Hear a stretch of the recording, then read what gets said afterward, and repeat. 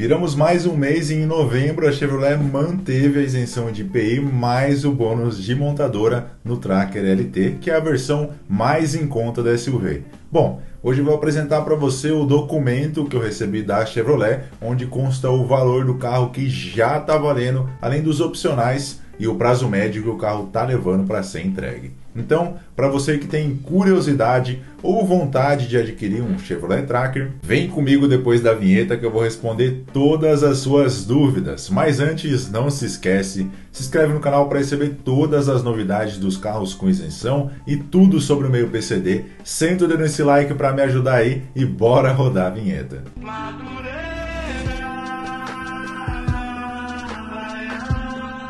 É sempre bom lembrar no início do vídeo que eu trabalho com os preços dos carros cobrados no estado de São Paulo. Então, se você for de outro estado, vai ter uma variação positiva e uma notícia boa. O carro no seu estado provavelmente vai estar tá mais barato, porque no estado paulista o ICMS é bem elevado.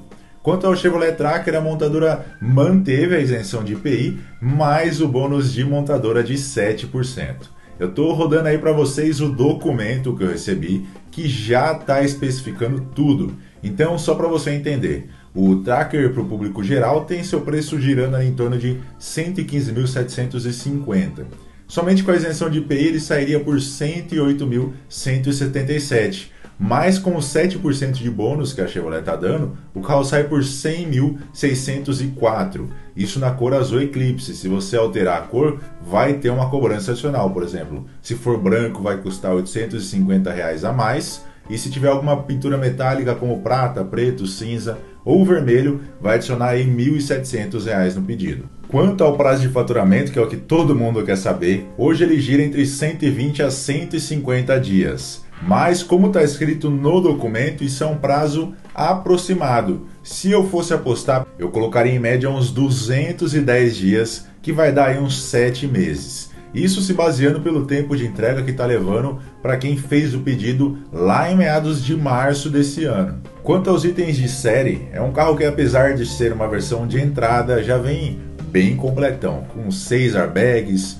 assistente de partida em rampa já vem com controle de tração e estabilidade, o farol já vem com regulagem de altura, tem o computador de bordo com algumas informações do carro, também já acompanha a multimídia MyLink com tela de 8 polegadas touchscreen, já com Android Auto e Apple CarPlay. As rodas têm 16 polegadas, vem com câmera de ré e o sistema Start Stop. Apesar dos carros no geral estarem com valor bem alto, esse bônus de montadora coloca o Tracker numa boa competição com outros SUVs que nós temos disponíveis atualmente com isenção. Na minha opinião, o que realmente pega no Tracker é o tempo de espera. Nem todo mundo tem disponibilidade possibilidade de aguardar entre 5 a 7 meses para receber o carro. Tem gente que precisa com uma certa urgência mas ignorando esse prazo de entrega é uma excelente opção. Para quem sempre pergunta a minha opinião sobre os carros, é o seguinte: se você já analisou as opções que a gente tem hoje, tá com a carta do IPI para dar entrada no carro, vai fundo. Hoje a gente tem uma via de mão dupla. A gente espera que o limite do ICMS aumente para deixar os carros mais acessíveis, diminuindo o valor final para as pessoas com deficiência.